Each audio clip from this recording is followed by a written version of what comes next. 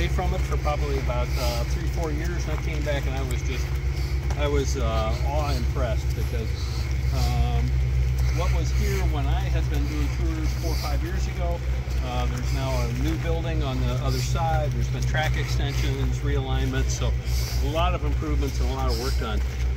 Now, the Huckleberry Railroad as a narrow gauge railroad, uh, narrow gauge was an advantage for like logging and mining because you do tighter radiuses. Uh, the roadbed was less costly, bridges were less costly, uh, but as a narrow gauge, other than if you're doing logging or something, uh, anything that you want to bring in from another railroad, standard gauge railroad, you had to offload into another car or reload, so it was very inefficient. So narrow gauge railroads are basically gone.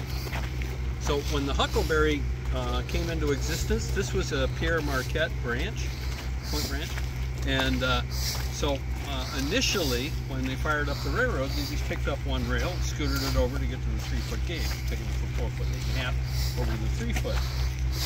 Can't really do that over bridges though. So uh, for the first number of years, uh, you- you'd come down the, uh, the railroad and you'd do this little Watusi over to get on over the bridge, and then you'd Watusi back. Uh, but that since then, roadbed's been reworked, uh, rail's been realigned a number of times, and uh, we'll, we'll show you the work training when we get in here. You guys can have the next one. Thank you, thank you. You're welcome. You're welcome. Get you in there and slide.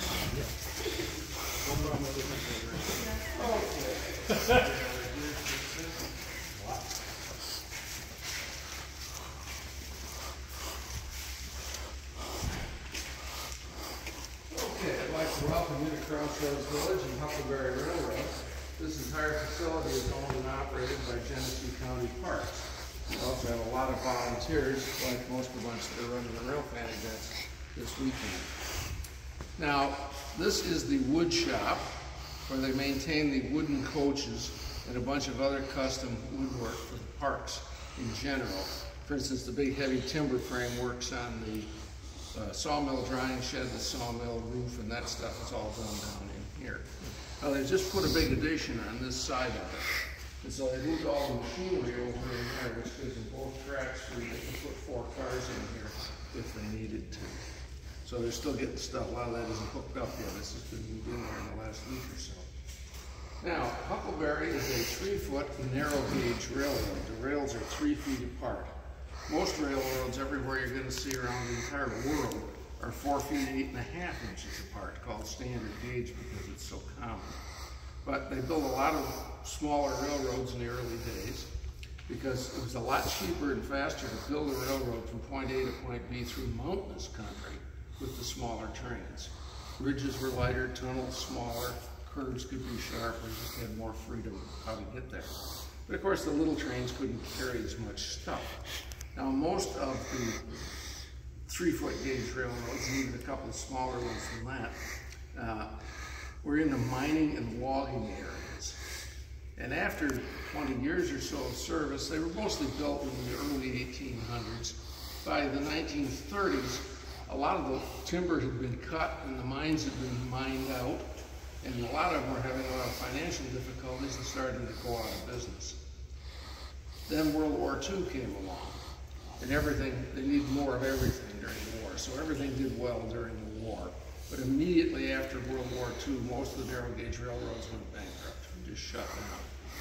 And by definition, they were in mountainous, hard to get to areas. And so it was usually cost more money to drag the stuff out for scrap than it was worth, so they just walked off. Left the wooden cars sit there to rot and the locomotives just to sit there to rust away. And that happened for another 30, 40 years. Now, uh, there was not a lot of narrow gauge in this area. That's the one thing that's strange about Huckleberry. It doesn't cost you any more in relatively flat country to build standard gauge than narrow gauge. So almost everything is built standard gauge to start with. So Huckleberry is not typical of what used to run in this area. the style of things and the vintage and whatnot is pretty good, but the trains are just a bit smaller than they would normally be. Okay, now let's head down this way. You can look at some of the work we've done and get the right that done. Not much has been done right away because we've got all the machinery out there. So this one's putting me back on into the clock car. The coach number eight here.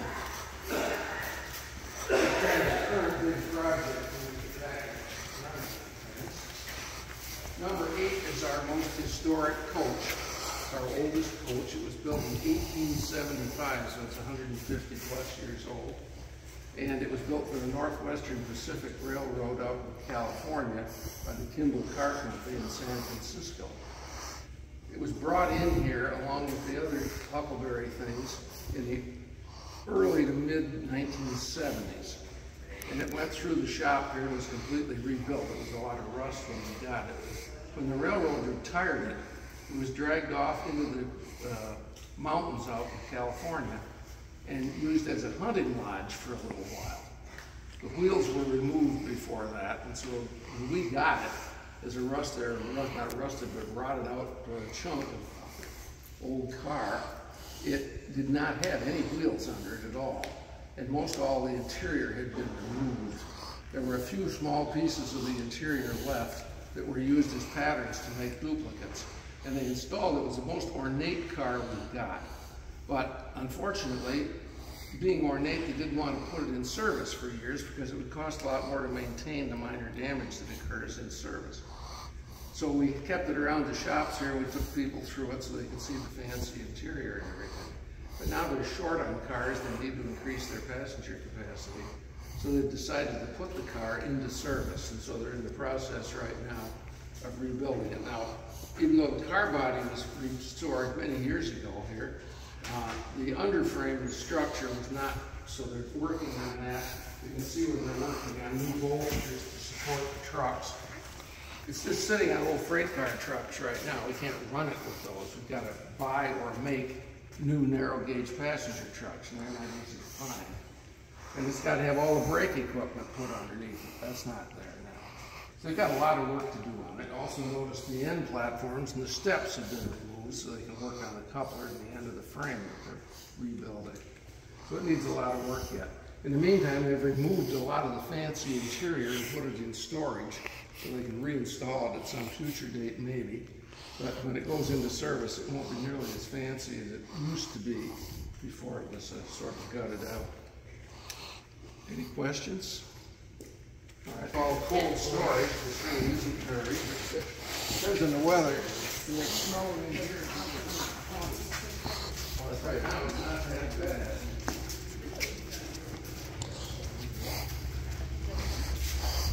This structure is between the wood shop and the locomotive shop. It's just a big pole barn that they use to store the wooden coaches during the four or five months of every year when the railroad is not in operation. Keeps the snow and the rain and stuff off of them. They built a new car shed next to the building on the north side that they can store the whole passenger train in now. And so they're not using that for this. It's become more just a junk area and a hardware store for railroad equipment. There's even some stuff in here. Notice the wagon wheels. Again, they do some work in the shops here for parts and other things. For instance, the carousel horses and the gondolas for the Ferris wheel uh, were restored in that shop right there many years ago. Now this is the start on our big locomotive restoration. We have two functional, more or less functional steam locomotives. Number 152, which is running on the train today, was built in 1920 for the Alaska, not the Alaska Railroad, but Alaska Engineering Commission in the 1920s, 30s. And then after World War II, the government sold it off and it went through a bunch of places and we ended up with it. Our bigger locomotive is much older, built in 1903. It's about twice the size of the engine that's running today. This is number 464 for the Denver and Rio Grande Western Railroad. Now, the federal law mandates that all steam locomotives have to be completely torn apart, inspected, and repaired every 15 years. And so this engine has reached its 15-year period. We got it in the 1980s from Knott's Berry Farm. They got it from the railroad when it was retired. And they fixed it up a little bit and got it running again, but it was much too big for their sharp curves. They couldn't really operate it properly. So they sold it to us. We got it in here, we tore it all apart and fixed it up, put it into service for 15 years. Then it had to come in here and get all torn apart and gone through again. Put it back in service again. It takes us four or five years to do a complete overhaul on a locomotive like this with our limited resources, both manpower and money wise. So it went back into service again, ran for another 15 years. Now it's in here for its third overhaul while here at Huckleberry. So this is the cab, obviously. This is almost all wood. That will go into the shop and be fixed up. This is not in bad shape. Obviously, there's some cracks and some splits here and there some things that have come loose. So they'll have to do a rebuild on it. But I suspect most of what's here will continue to be here after it's been fixed up. Yeah, a bunch of these little flat cars around with all the stuff around the shop. See, Railroad parts, brakes, locomotive fire grates, brake shoes, just everything you can think of around here. Pipes and rods and tubes and all kinds of stuff. Uh, this is our little work cart. It's a gasoline engine driving a hydraulic pump that's used to run what amounts to being jackhammers that are used both for driving spikes and also for tamping ballast, packing the gravel down underneath the ties. These big jacks, which are removable, uh, if you got a low spot in the track that's settled, the ground is moved or something, you put the jack under the track, jack the track back up till it's level, then you pack ballast gravel underneath the ties to support it, and that's what you use the tampers for. Also, a little crane on here so we can pick things up and move around. This is the rest of our little work train. Three it. Here's another ballast tamper. Like a jackhammer. Here's a track saw. Abrasive disc, we use it for cutting the rails and removing pieces of the rail. Next to it is a track drill. When you cut the rails two, you put the ends back together. You want to splice them together. You use a couple splice bars like those green things there. You clamp one on each side of the rail. You drill holes through the rail and put big bolts through there to hold it all in alignment. Well, this is the thing you use for drilling the hole through the rails. Bunch of chains, tongs for picking up sections of rail and carrying them around.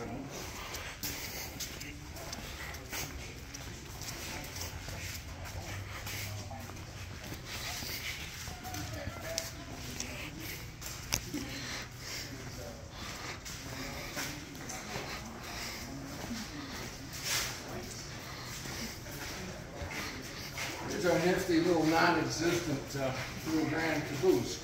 This is the same railroad as that locomotive that you just saw the cab for, Rio Grande Western. And this caboose doesn't exist. It's a figment of your imagination. It's not really there. The railroad officially scrapped this caboose and removed it from existence back sometime in the 50s. It, however, had a somewhat different fate. The railroad was bankrupt at that time, as it often was. A judge had been placed in charge of it as a receiver to manage the railroad during its bankruptcy. And as part of his fee for services, he had this junk caboose hauled off to his house in Salt Lake City, Utah, and put in his backyard as a playhouse for his kids. Well, it was fixed up a little bit for that purpose, but Eventually, the judge grew older and passed away. The kids grew up and moved away. A new owner had the house and had a rotted out caboose in his backyard that he didn't want. But we got word of it and sent a truck up Utah and brought it back. Unfortunately, the exterior portions of the caboose were too badly deteriorated rotted away to be salvaged. But the exterior had protected the interior. So a bunch of our volunteers decided to try to rebuild this, and they started taking it apart. And they saved some of the wood, so they used patterns to make new parts to match. And little by little, they ended up with a flat car with a whole stack of wood onto it. All the parts necessary to put the caboose back together. Then it didn't go anywhere for a while. For about 20 years, it sat around here in that condition. Until just the railroad was not going to spend the money to restore it because it's not a revenue producing piece of equipment. It only can handle about six people. And that doesn't make enough money to pay for the operation and maintenance of it. So anyway, it sat around here for a while, and the volunteers decided, well, let's fix it up, let's finish the job. So they went to work, and they made new parts for all the stuff that was rotted out, and they put it all back together again. Most of the interior is original. Almost 100% of the exterior that you're looking at are reproductions following the old parts. New roof, new cupola, new sides, new ends. All that was done, and the car body is essentially complete. The underframe still needs a lot of work, the brake gear needs a lot of work, and the trucks need to be rebuilt or replaced, one or the other. And so quite a bit needs to be done yet before it can be placed in service, but at least it's all back together and looking nice, almost like it did when it was built originally many, many years ago. Right now, it's being used as an office for the shop. There's some computers and plotters and things in there, and they use it for making uh, plans and blueprints for all the parts they need to make for new things or repair things, or programming for the machines and whatnot. So it's, a, it's an office full of all kinds of things that were never dreamed of when the caboose was built originally. Where routine maintenance is done. Cars are brought in here, brakes are adjusted, things are lubricated, minor leaks and things fixed. The locomotives will come in here at night and be checked underneath for all their brake equipment, make everything adjusted and lubricated properly. Right now we've got our two little locomotives, number 585 and 571 here. These are five-ton Plymouths that came from the U.S. government. They had a big ammunition depot in Baraboo, Wisconsin. And ammunition depots are very decentralized. They consist of a lot of little buildings quite a long ways apart. So if anything blows up, it doesn't take everything else with it. And those, all those little buildings over many, many acres were connected together by an extensive little three-foot narrow gauge railroad system. But when the government closed that, we got word of it, sent some people out at an auction as they got rid of it, and we bought one of the locomotives. Somebody else bought the other ones. There were a dozen or more of these little engines there originally.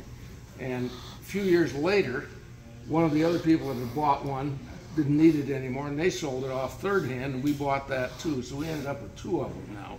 One we bought originally, and one we got third hand. They're used for just shuttling things around inside the shop here, moving these cars around. They can tow the little work train behind it for track maintenance and uh, whatever needs to be done. They're very handy, They're just like they're gasoline hydraulic locomotives. They're kind of like a giant garden tractor on railroad wheels. Just start them up and drive them off. Some of our machinery. There's a couple of lathes, a big bandsaw, a milling machine. This is a computerized milling machine here.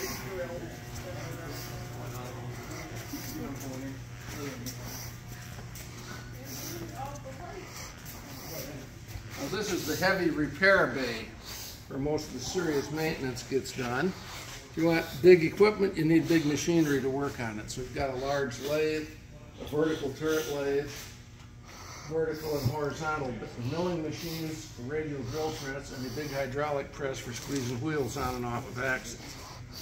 Now, as I mentioned, these locomotives have to come in and be overhauled, and so this is number 464. Starting its several year overhaul here to meet the federal requirements. The moment they've gutted the boiler out, one of the most serious things you have to do is ultrasound test the shell of the boiler all the way around on a fine grid, measure the thickness of it. That has to be certain thicknesses in order to meet federal requirements for whatever the boiler pressure running is. So in order to do that, you've got to have somebody inside the boiler and somebody outside the boiler. Well, normally the boiler consists of well, the back end is the firebox, which you can see lighted here. Then you got the main boiler inside, which is just a big cylinder full of water. But through that go a hundred or so pipes, boiler flues.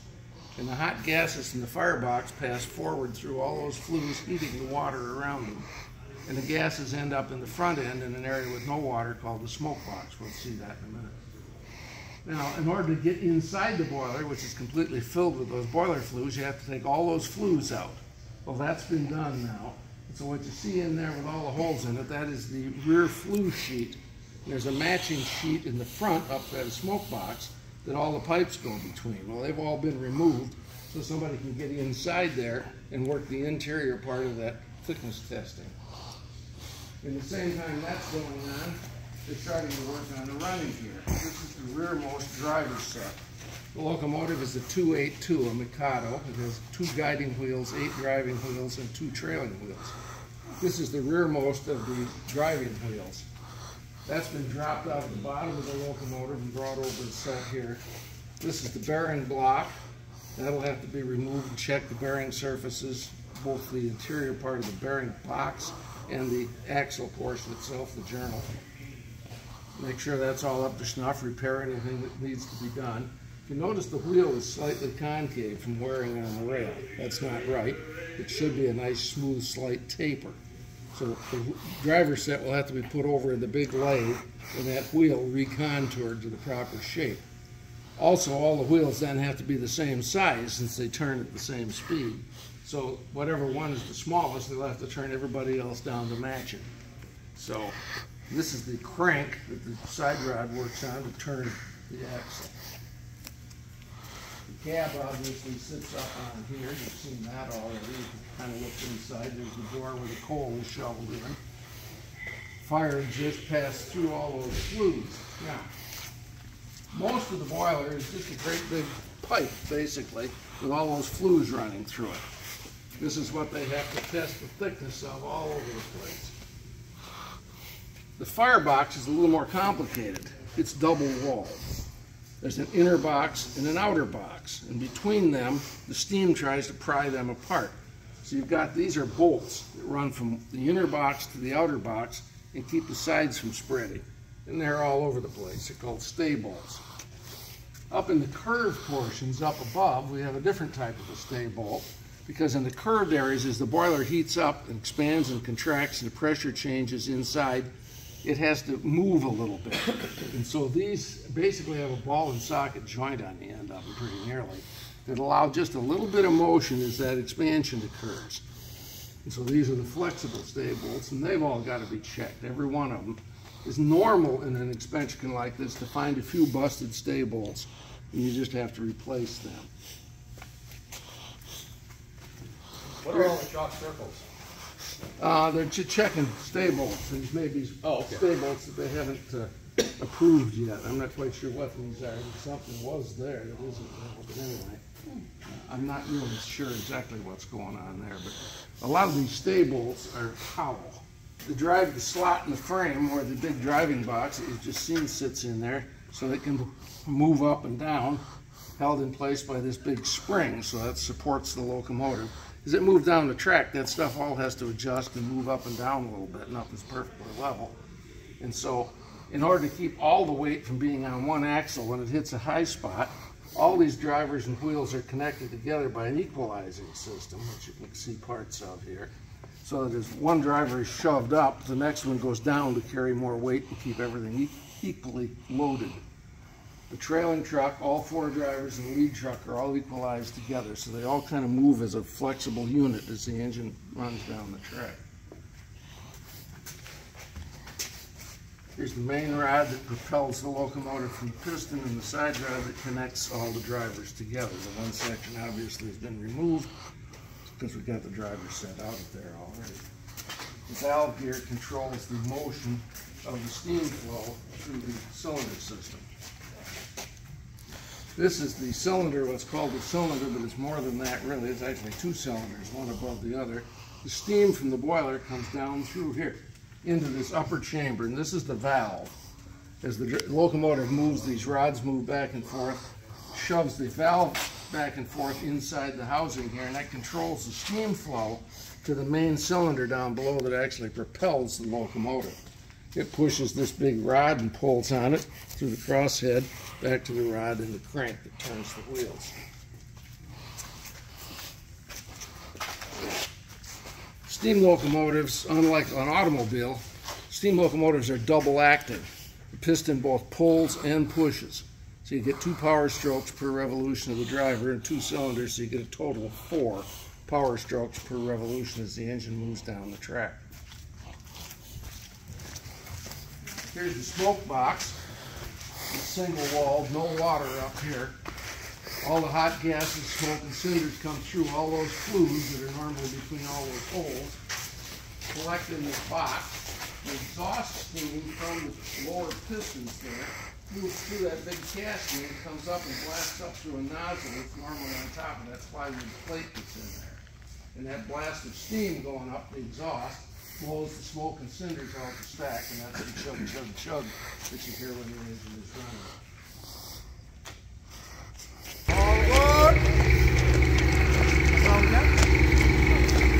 guys you too? Yeah. You guys going back?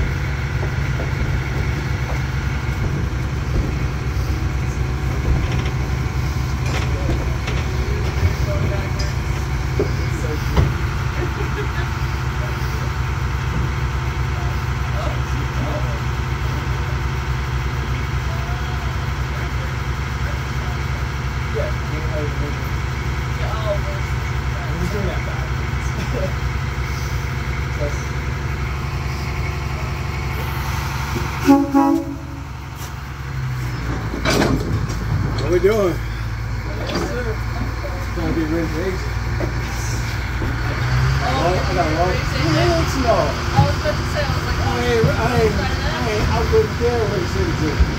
here's the thing though. He's been fun. He's Let's see, I,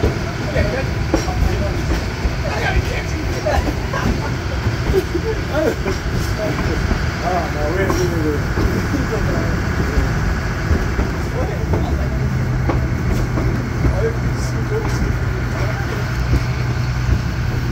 Hey, hey, you guys working rides? Yeah. You chilling? It's just Thornhill. We ain't really got a lot of people, huh? Well, it's Sunday. It's Sunday,